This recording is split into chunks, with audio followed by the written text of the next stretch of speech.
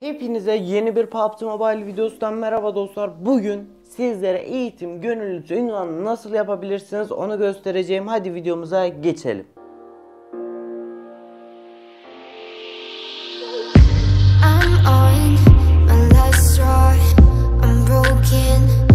Dostlar peki siz bu eğitim gönüllüsü ünvanını nasıl yapacaksınız hemen sizlere anlatayım. Anlatmadan önce aşağıdan videoya like atarak bana destek olabilirsiniz. Kanalıma abone olarak da bu tür başarımlardan ya da diğer içeriklerimden de faydalanabilirsiniz dostlar. Şimdi ilk önce sizlere eğitim görevlisi ünvanını göstereyim ne işe yaradığını ne verdiğini falan filan bilmeyenler için göstereyim. Sonrasında da nasıl yapıyorsunuz onu göstereyim. Ben zaten bir kısmını yaptım. 6 tane maçını tamamladım dostlar. Bunu isterseniz çok seri hızlı bir şekilde de yapabilirsiniz ama 300 tane maç olduğu için birazcık hani nasıl diyeyim Türkçe olarak işsizlik istiyor. Yani işsiz olmanız lazım ki bu görevi yapmanız için. Yani böyle başka türlü de olmaz da. Neyse ben sizlere hızlı taktiğini göstereyim dostlar. Çünkü ben genelde bu tür başarımlara uğraşmıyorum abi. Çünkü çok uzun sürüyor. Ama yapmak isteyenler varsa diye hemen sizlere anlatayım dostlar. Şurada e, sol alt panelde arkadaşlarınızın altında can dostu diye bir kısım var dostlar. Buraya bir emektar bul ya da emektar ol diyorsunuz. Hangisini o yapmak isterseniz. Şimdi Yanınıza bir arkadaş daha bulursanız daha da hızlı yaparsınız. Hem o yapar hem siz yaparsınız dostlar. Onu da söyleyeyim. Yani mesela maç bittiğinizde orada ortada bir tane bir tuş gibi bir şey çıkıyor. Önceki oynadığınızı tekrar davet edebiliyorsunuz. Diyelim ki arkadaşınızı buldunuz. Peki nasıl kasacaksınız? Şimdi biriniz emektar oluyor, biriniz emektarı buluyor. Siz emektarı mesela al ol diyeceksiniz. Yani kendinize emektar ol diye basacaksınız. Tamam mı diyecek işte böyle tamam diyorsunuz ve geçiyorsunuz.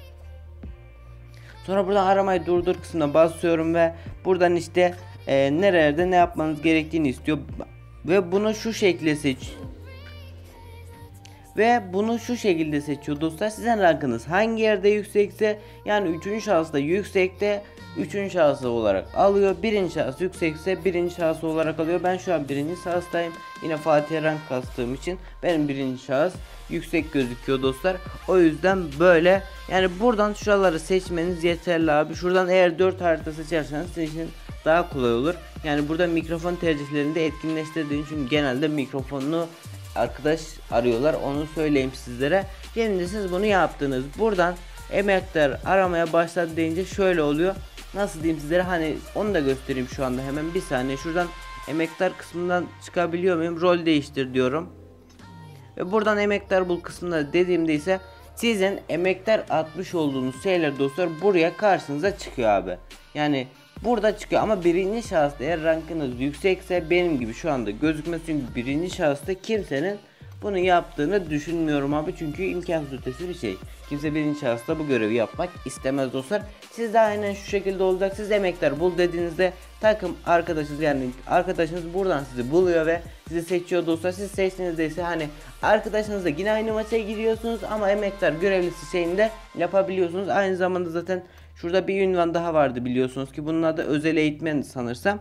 Aynı şekilde bunu da yapmış oluyorsunuz dostlar. Bu görevi böyle kısa yoldan bitirebilirsiniz. Umarım video beğenmişsinizdir. Kendinize iyi bakın. Hoşçakalın. Diğer PUBG Mobile videolarında görüşmek üzere. Bay bay. Benden bu kadardı. Kaçıyorum. Bay bay.